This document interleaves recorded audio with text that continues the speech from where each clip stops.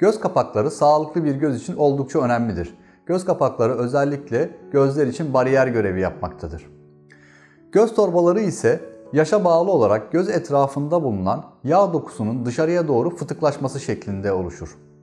Göz çevresindeki bağ dokusunun yaşa bağlı olarak gevşemesine periorbital gevşeme sendromu adını verilir. Bu gevşeme neticesinde göz çevresinde bulunan bariyer görevi gören yağ dokuları dışarıya doğru fıtıklaşır. Göz torbalanması aşırı miktarda belirgin olan insanlarda akşamdan kalma veya yorgun bir görünüm meydana gelmektedir. Gözaltı torbalanmaları bu şekilde kişinin sosyal yaşamını etkiliyorsa estetik olarak alınması mümkündür. Gözaltı torbası ameliyatı temel olarak iki şekilde yapılmaktadır. Birincisi alt göz kapağında kirpikli kenarın hemen altında açık olarak yaptığımız gözaltı torbalarının alınma ameliyatıdır.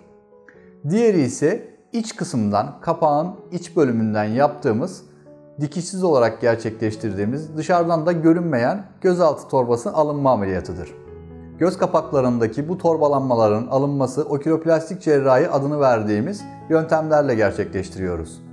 Gözaltı torbalarının cerrahi olarak alınması en başarılı tedavi yöntemidir.